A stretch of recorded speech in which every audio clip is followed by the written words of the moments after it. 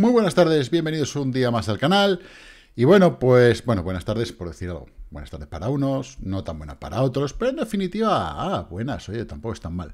Bueno, decía Almudena Grandes, la madre de Frankenstein, que las ilusiones son más venenosas que los pesticidas. Y eso es lo que intentaron hacer ayer con nosotros y hoy pues lo que han logrado.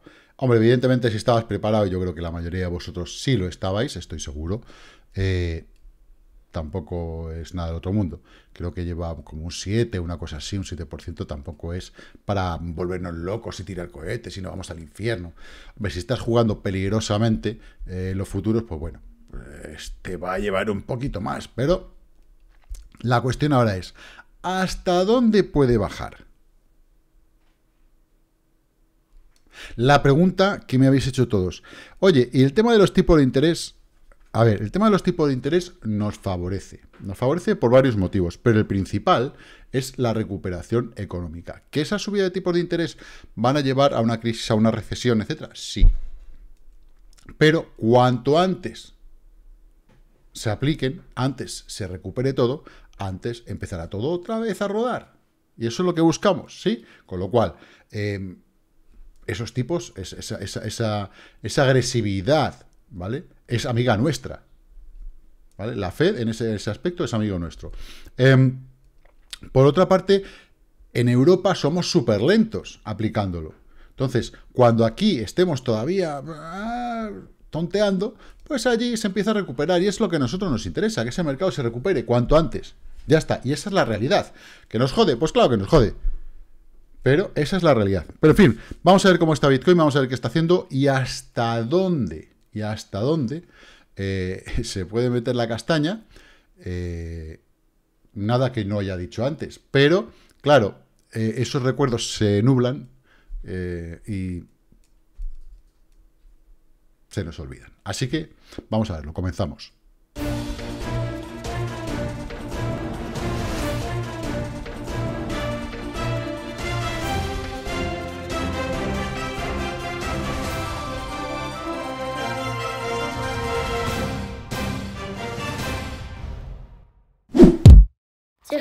Suscríbete y dale a la campanita. Vas a tomar por culo. Nos vamos a tomar por culo. Bien, em, Bitcoin, eh, diario. Fijaros una cosa, porque la primera pregunta, ¿hasta dónde puede bajar? Primera respuesta que os doy, esta línea de tendencia que tenía, dibujamos el otro día, toque, toque, ¿vale? Bueno, lleva dibujado mucho tiempo, pero que ya nos empezamos a fijar el otro día porque íbamos llegando. Eh, mm, zona de 35, ¿vale? Ya la tenemos más que hablada, bueno, pues vamos a ver. Buena zona en principio, ¿vale? Eh, punto número uno. Punto número dos. Eh, ¿Puede bajar mucho más allá del 35? Por supuesto que sí. Joder, mm, pero si ya fijaros de dónde estamos. Vale. Vamos a ver una cosa. ¿Qué ha pasado anteriormente? Y vamos a ver esa cosa y otra más importante todavía. Primero, fijaros en qué punto estamos. ¿Vale? Ahora, si nos vamos al día 26 eh, de noviembre, fijaros en qué punto estábamos, de RSI. ¿Vale? Eh, fijaros en lo que hizo. Y todo lo que bajamos. Eh, si no me equivoco, vamos, y, yo creo que no me voy a equivocar, estamos aquí, vamos a hacerlo desde el mínimo, ni siquiera vamos a hacer esa subida, para, para no ser ventajosos, ¿vale? tenemos una caída del 38, prácticamente 39%. Si desde aquí tuviéramos que caer un 39%, ¿a dónde iríamos? Pues si no me equivoco, a la zona de 22. 22 y medio, ¿vale? Más o menos. ¡Ostras! ¿Se puede? Claro que se puede. Pero bueno, eso sería en precio. Si lo hacemos realmente eh, diciendo, ¿nos puede fastidiar más de lo que nos está fastidiando? Por supuesto que sí, porque fijaros lo que está haciendo. En este momento, del día 20, del 26 de noviembre, bueno, pues hizo ciertos dientes de sierra, ¿vale? Aquí, pa, pa, pa, y luego nos metemos un cataplón con movimientos más bien grandes. En este caso, fijaros los dientecitos que está haciendo aquí, ta, ta, ta, ta, ta, ta, ta, ta uno, otro, otro, y estamos cayendo. Lo que necesitamos también es que el RSI consiga pasar por encima de 50. Se está comportando en formato cripto invierno total. Pero vamos, que lo lleva haciendo bastante tiempo. Desde prácticamente esta subida, Una vez que lo perdimos, está hasta por, debajo del 50% todo este periodo, intentó subir otra vez abajo, intentó subir otra vez abajo, intentó subir otra vez abajo, ha hecho esta pequeña mm, tontería que realmente no ha ido a ningún lado, y otra vez por debajo continuamente pa, pa, pa, pa, pa, pa, pa, pa, pa, del 50%. Mientras no pasemos del 50% para arriba, va a ser complicado avanzar. ¿Vale? Eso no quiere decir que, evidentemente, si caemos a, a, la zona de 30 y empezamos a rebotar, evidentemente que subamos, ¿vale? Pero, eh, como si, si, si, empieza aquí a tontear así, y luego una caída, y luego vuelve a subir, y a tontear, y otra caída, es un cripto invierno eterno que mata a cualquiera. Por eso siempre hablo de liquidez, ¿vale? Y bueno, pues por lo menos he visto que alguien sí me ha escuchado y ha aprovechado bien esa caída. Eh, en principio, eh, podía haberse quedado en un pullback, ¿vale? Pero, claro, ha habido un hundimiento de todos los mercados y nos hemos ido bastante, bastante al carajo. En una hora, fijaros dónde estamos. En una sobreventa tremenda. Pero esto puede seguir, es decir, aquí puede estar haciendo por aquí debajo, y cuanto más abajo los haga, más dañinos son, dientes de sierra, ta, ta, ta, ta, ta, ta, ta, ta y seguir, seguir, seguir, seguir. Hombre, tal y como es, eh, se está moviendo el mercado, lo normal es que, vamos a tirar esta línea de tendencia mm, a su sitio, vamos a ir toque, toque, toque, vale. Vamos a ir a llevárnosla un poquito más abajo. ¿Por qué? Porque, bueno, perdemos, estamos tonteando en la zona, ahora lo hemos perdido, podemos retestear, bueno, no, no, me extrañaría un movimiento a la zona a través del pico, ¿vale? Aquí está esta confluencia en 37.800 en algún momento. Aunque, ¿veis? Esto que fue un suelo y esto que fue otro suelo, que nos ha hecho esta W, bueno, ya nos ha dado pistas, es decir, cuando ha llegado a este punto, además ha sido clavadito, joder, y no ha podido, no ha podido y ha empezado a tontear, ya no decía, chicos, no podemos, nos vamos a ir para abajo. De hecho, teníamos otra línea de tendencia, que la tengo en esta gráfica, ¿vale? ¿Vale? Que además lo he puesto hoy en un corto. Y he dicho, pasaremos, bueno, tenemos así, más bien así, ¿vale? He puesto esta, exactamente esta, que alguien me ha dicho, oye, ¿cómo has tirado esa línea de tendencia? Pues la tengo muy fácil. Toque, toque, toque ha hecho una salida, una falsa ruptura, ha vuelto a entrar, ha estado tonteando y en el momento que ha habido dos velas rojas, yo ya he dicho, yo en el momento que ha perdido la de 100 digo, ya está. Y la verdad es que ha sido una muy buena pista, no solamente la línea de tendencia, sino en no haber pasado este máximo anterior en cuatro horas. ¿Vale? O sea, son dos cosas a tener muy en cuenta. Yo llego a un punto y no, y no lo consigo y encima tengo el RSI más alto que el punto anterior, ¿vale? Aquí, ¿vale? ¿Ves? y estoy más bajo, sin embargo aquí, eso es mortal. O sea, no vas a poder, no tienes, no te falta chicha. Hay algo ahí que no funciona. Y en el momento que encima no ha podido con esa tendencia, adiós. ¿Vale? La media de 100 la vuelta a perder, digo, según la hemos perdido, según hemos cerrado aquí, digo, mal asunto. Y efectivamente, ha sido un muy mal asunto, ha sido bastante una vela muy, muy, muy fea, abrazando todo esto. La siguiente vela no está siendo demasiado bonita tampoco. Eh, pero ¿qué pasa? Que ya nos está llevando a una zona de sobreventa. En una hora, como acabamos de ver, estamos súper sobrevendidos, pero todavía podemos estarlo mucho más, como os he dicho.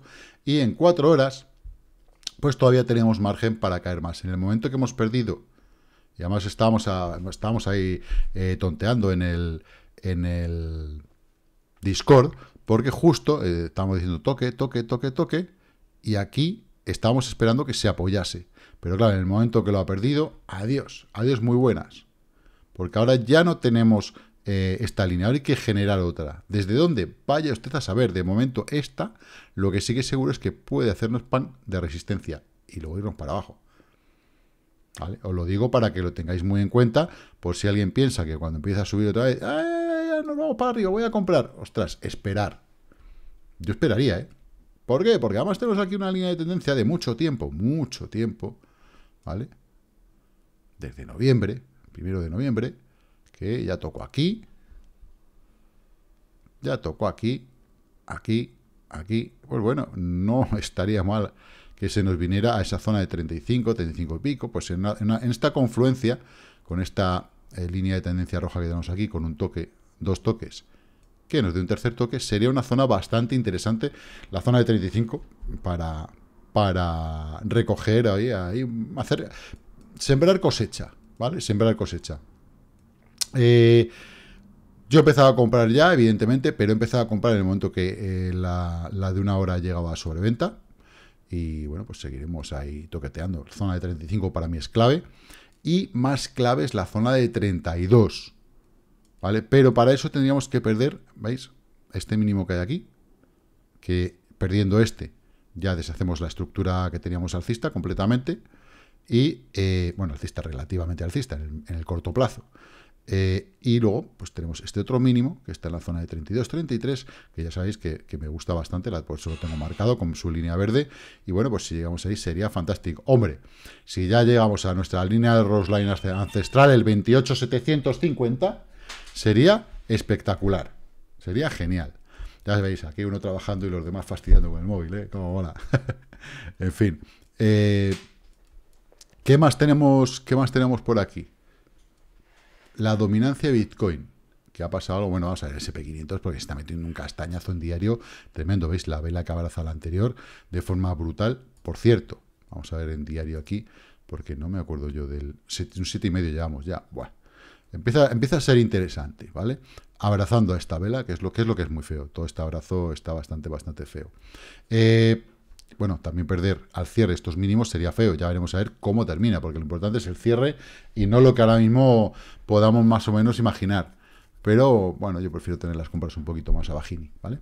Eh, Ethereum. Ethereum lo está haciendo bastante bien. La zona que teníamos marcada, ¿vale? No está marcada por casualidad, ¿vale? Tenemos apoyos claros, resistencias, resistencia aquí también. Bueno, ahí debe ser un apoyo con, junto con esta línea de tendencia.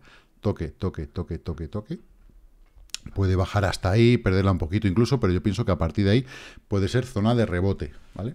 Cuidado, estamos, está la línea de tendencia en la zona de 2.665, eh, yo que sé, más o menos, inclusive aunque la pierda un poquito, igual que pasó aquí con una mecha, aquí con otra, eh, y se nos venga a los 2.580, 2.550, y luego, siempre y cuando luego recupere y no pierda la zona, eh, pues tampoco creo que, que sea algo terrible y pudiese rebotar. Si lo pierde esta zona, y ya se viene a la zona de 2350, ya empezaríamos a hablar de otras cosas, ¿vale?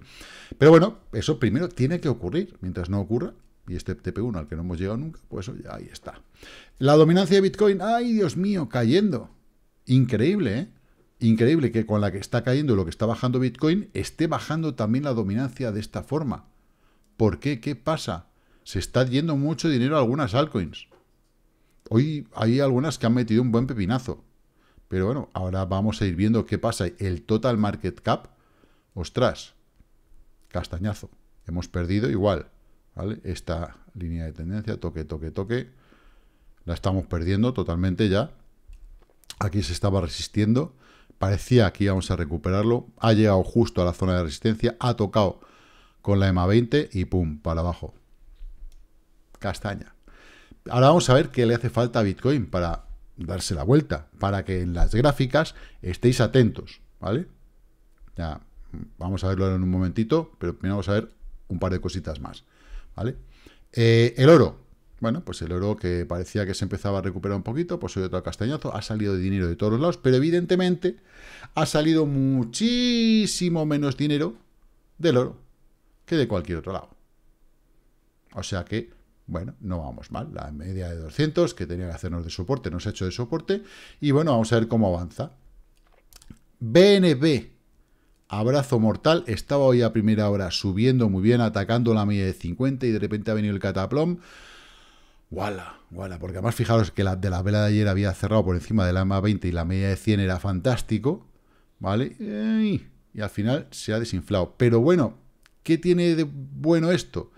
Que vamos a poder comprar BNB más barato, ¿vale? Eh, y os vuelvo a decir lo que os he insistido. Creo que para el final de este mes, principios del otro, vamos a poder entrar en algunos proyectazos. Así que guardar BNB. Eh, zona importante de soporte, zona de 350. Es importante. Eh, creo que la mantendrá. Y bueno, si baja un poquito, pues tenemos la 337, donde llegaron estos mechazos, aquí 1, 2, 3, ¿vale? y que bueno, la tenemos ahí marcada. Atentos a, a, BNB porque creo que es, bueno, es una cripto lo suficientemente importante como para estar en ella. Muchas pérdidas, pérdidas muy grandes, 20, 20, 15, 16, 14, 13, madre mía. Es una sangría importante. A primera hora o al principio de la caída no acumulaban grandes pérdidas las altcoins y algunas se resistían, como por ejemplo, bueno, pues DOM, ahí sigue todavía resistiendo, bueno, los cortos de Bitcoin. Fijaros cómo los cortos de Bitcoin han, recuperado ese canal que ayer parecía que perdían, y eso no es, no es bueno, la verdad es que no es bueno, bueno, lo estamos viendo. Eh, se están metiendo un castañazo importante. Ha llegado a la media de 200, si uno toca la media de 200, ¡chum! yo cuando he visto que la media de 200 empezaba a rebotar, digo, mal asunto, ya en el momento que ha cruzado ya, ha cruzado el Mississippi y hasta luego Lucas. Melos también está aguantando, Dom está aguantando, Nexo Cuidado, ¿eh? Nexo está aguantando muy bien, One Inch también. O sea, aquí hay que tenerlas muy en cuenta. Inclusive, de las que están aquí por, debajo del 5%, las que están también más cerca eh, de, de, los máximos, pues hay que tenerlas también bastante en cuenta. Pues aquí tenemos a, a, Kratos, eh, tenemos, bueno, mira, el, token de Wobi está bastante bien. Crypto.com, dentro de lo malo, igual aguantando muy bien el chaparrón, eso quiere decir que la gente no la está vendiendo, no la suelta, ¿vale? Es lo que tenemos que interpretar. Cuando hay una calle tan, tan potente y a lo mejor hay algunas que puede ser que ya, que ya han caído tanto que no puedan caer más, ¿no? Pero, pero una moneda tan importante como Crypto.com, por ejemplo, o un juego Bitoken, si no, si no caen, es porque la gente no los está vendiendo. Y esa es la realidad. Entonces, ¿qué pasa? que la, dominancia pasa de uno a otra. Por cierto, quería ver la dominancia del títer. Casi un 5%. Fijaros cómo está intentando romper la resistencia que le teníamos marcada. Después del castañazo de ayer, como hoy está abrazando. Eh, uf, uf, ¿vale? Pero no sé cuánto más va a aguantar. La cuestión es cuánto más va a aguantar, pero bueno, en realidad si pasa esta zona de 5, 5, 15, se irá a los 5.50 a, a este pico máximo y bueno, ya veremos a ver después qué narices pasa, pero, pero wow, eh, está, está, está potente. Bien, eh, vamos a... Bueno, un poquito, a ver qué tenemos aquí contra el Bitcoin. Bueno, eh, exactamente igual a unos... Hay pocos beneficios, pero me interesan estas. Ay, eso es, ha tocado 200 y para abajo. A ver si podemos empezar a comprar más adelante. Y en tengo esas, ya sabéis que yo soy entre 6 y waves. Eh, planificar bien, quiero planificar con vosotros esos dos trades. Bien, si es perdiendo la zona que tiene verde, pues se tiene que venir a la línea de tendencia. Ahí es donde tenemos que, que tener la paciencia de esperarle y a zapaos y hacerle pum pum. Listo. Eh, Bitcoin, ¿qué le hace falta a la gráfica de Bitcoin? ¿Vale? Para eh, decir, nos vamos para arriba. Señores, ya podemos empezar a... Eh, ahora ahora entramos en zonas de acumulación, ¿vale? eso, está, eso está claro. Pero, si esta vela, ¿vale? Que por eso digo, no ha cumplido, no ha cumplido, primero porque no hemos roto esta línea de tendencia, segundo, porque no hemos pasado la EMA 20, tercero, ¿qué necesitamos? Veis la EMA 20, la naranja, ¿vale? Empezaba a irse hacia arriba, aquí, hasta que, bueno, pues ha llegado al día de hoy y ha, caído, hacia nuestra línea nitro, ¿vale? Ese es el primer cruce que estábamos buscando. Después, evidentemente, hubieran venido los cruces de la EMA 20 con la de 100 y con la de 50, que era el segundo cruce que buscábamos. Entonces, entre un cruce y otro, es ahí donde ya podemos empezar a preparar las maletas. Pero mientras no se produzca eso, o sea, si no tenéis el All-in-One, eh, bueno, la gente que estáis en el canal VIP o los que la habéis comprado en la web lo tenéis, eh, es súper útil. ¿Por qué? Porque aunque tengas la, versión gratis de TradingView, tú puedes tener, sabéis que podéis tener tres indicadores. Pues bueno, con tres indicadores, en este caso, todo el All-in-One que tiene todas las medias que tú quieras, más la línea de media, más los cruces, eh, es un solo indicador. ¿Vale? En vez de tener la de 50 es un indicador, la de 100 es otro indicador, la de 20 es otro indicador, la de 200 es otro indicador. No, no. Aquí todas son un solo indicador. ¿Vale? Con lo cual estás ahorrando ya pasta de, eh, de TradingView. Después le metes un RSI, dos indicadores y el volumen, si quieres, tres indicadores, ya está. Ya está. No te hace falta nada más, realmente. Ahora, si quieres ir afinando, bueno, pues ya tienes otros indicadores más guays.